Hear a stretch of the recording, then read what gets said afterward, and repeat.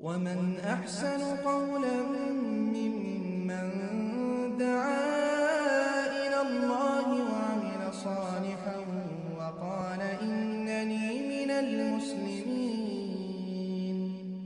ওয়ালাইকুম সালাম রহমতুল্লাহ বরাকাত একজন জানতে চেয়েছেন রিয়া সম্পর্কে রিয়া কি এ, রিয়া এটি আরবি শব্দ রিয়া শব্দটি নেওয়া হয়েছে রুইয়া থেকে অর্থাৎ মানুষকে দেখানোর জন্য কোনো ইবাদত করা, অথবা মানুষের প্রশংসা পাওয়ার জন্য কোনো ইবাদত করা। এটা সংজ্ঞা করতে গিয়ে বলা হয়েছে, হুয়া ইজহারুল ইবাদাহ লেকাসদে রুইয়াতিন নাসি লাহা ফায়াহমাদু সাহেবাহা।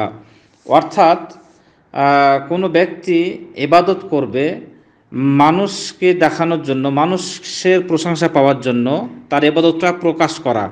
অর্থাৎ মানুষ যেন তার এবাদতের ক্ষেত্রে তার প্রশংসা করে, তার সুনাম করে, তাকে বাহবা দেয়। মানে এই মন মানসিকতা নিয়ে এবাদত করার নাম হলো রিয়া। এক কথায় লৌকিকতা। মান মানুষকে দেখানোর জন্য, মানুষের প্রশংসা পাওয়ার জন্য কোনো এবাদত করার নাম হলো রিয়া। এই ব্যাপারে রাসূল আল্লাহ আলাইহি সাল্লাম বলছেন যে, ইন্না আখওয়াফা মা আখাফু আলাইকুম আশিরকুল আসগর যে নিশ্চয় আমি ভয় পাচ্ছি যে আমার উম্মতের ওপরে ছোট সিরেকের ভয় পাচ্ছি বা ছোট সিরেকের সয়লাভ ছড়িয়ে যাবে, ছোট ছোট সিরেকটা বেশি বেড়ে যাবে, এটা আমার আশঙ্কা হয়। সাহাবিগুন বললেন, হে আল্লাহ রসুল ওমার শিরকুল আসগর, ছোট সিরেকটা কি? হে আল্লাহ রসুল।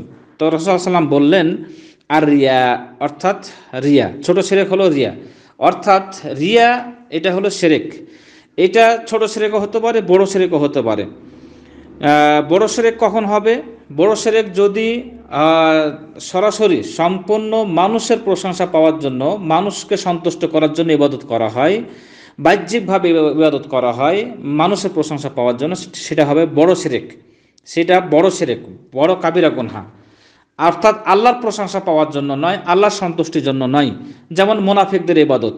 মোনাফিকরা যেমন ইসলামকে বাহ্য, বাহ্যিকভাবে প্রকাশ করে, কিন্তু অভ্যন্তরীণভাবে ইসলামের ক্ষতি করে। বাহ্যিকভাবে যারা ইসলামকে প্রচার করে, ইসলামকে মহব্বত করে, ইসলামের সাথে, মুসলমানদের সাথে চলে, আর অভ্যন্তরীণভাবে ভিতর ভিতর মুসলমানদের ক্ষতি করে এরা হলো খামোনাফেক আর এটা হলো বড় শিরেক। আর এই- রিয়াটা হবে বড় রিয়া।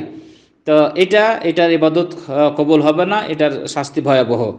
আর রিয়া কখন ছোট সেরেক হতে পারে? ছোট সেরেক যেমন আপনি সন্তুষ্ট, আল্লাহ সন্তুষ্টির জন্যই ইবাদত করছেন, আল্লাহর জন্যই ইবাদত করতেছেন, কিন্তু এই ইবাদতের ক্ষেত্রে মানুষ যেন আপনার প্রশংসা করে। যেমন আপনি নামাজ যখন পড়ছেন, আল্লাহর জন্য পড়তেছেন, কিন্তু নামাজে দাঁড়িয়ে পাশে যারা আছে, আপনাকে দেখতেছে, তারা যেন আপনার নামাজটা খুব ভালো মনে করে, যে খুব সুন্দর করে নামাজ পড়ছে, এই কথা যেন বলে, অথবা যখন আপনি কোরআন পড়ছেন, কোরআন পড়া খুব সুন্দর করে কোরআন তেলাওয়াত করছেন, যাতে করে ওরা বলে যে খুব সুন্দর করে কোরআন পড়তে পারছেন, অথবা এমন ইবাদত করছেন দান করতেছেন, যাতে করে অমুক ব্যক্তি বলে যে আমি দানি, দানবী, দান করছি মানে এরকম আপনার ভিতরে যদি চলে আসে, ইবাদতের ক্ষেত্রে কোনো মানুষ আপনার প্রশংসা করুক, কোন মানুষ আপনাকে ভালো বলুক, এরকম যখন চলে আসবে, তখন এটা ছোট সেরেক হয়ে যাবে, আর এটা হলো রিয়া। এই ব্যাপারে হাদিসও আছে যে এটা কখনো কখনো জাহান নামে যাওয়ার কারণ যে তিন শ্রেণির ব্যক্তিকে যে জাহান নামে দেওয়া হবে আলিমকে, কারিকে মোজাহিদকে আর দানবীরকে, যে তারা সবাই বলবে যে আল্লাহর সন্তুষ্টির জন্য আমরা দান করেছি, জিহাদ করেছি কোরআন শিক্ষা অর্জন করেছি আর মানুষকে শিক্ষা দিয়েছি। কিন্তু আল্লাহ তালা কি আমাদের বলবে যে কাজাত, তুমি মিথ্যা বলছো। বরঞ্চ তুমি মানুষকে প্রশংসা পাওয়ার জন্য, মানুষের প্রশংসা পাওয়ার জন্য, মানুষের কাছে বাহুবা পাওয়ার জন্য তুমি এই কাজগুলি করেছ। এই জন্য তোমাকে জাহান্নামে দেওয়া হবে। এই জন্য তারপরে তাকে জাহান্নামে দেওয়া হবে। তো এইটা একটা জাহান্নামে যাওয়ার কারণ। তো যাই হোক, রিয়া হলো এবাদতের ক্ষেত্রে মানুষের প্রশংসা প্রশংসা পাওয়া, মানুষের বাহুবা পাওয়া, মানুষের ভালো সুনাম পাওয়ার জন্য কোনো ইবাদত করার নামই হলো রিয়া।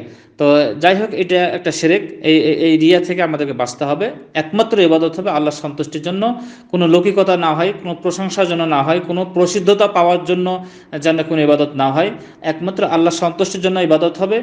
আল্লাহর জন্য ইবাদত হবে। খালেজভাবে খাঁটিভাবে সেই ইবাদতে কোনো রিয়া থাকবে না, লৌকিকতা থাকবে না। তাহলে সেটা গ্রহণযোগ্য হবে আল্লাহ তালার কাছে। জাজাকাল্লাহ খের